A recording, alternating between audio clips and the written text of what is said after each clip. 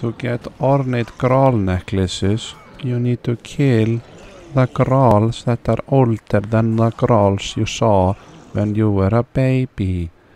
Killing them will give you the oh, oh, oh, ornate grawl necklace. See, I have three of them. It's very good to get them here, maybe. Near Sumria ruin.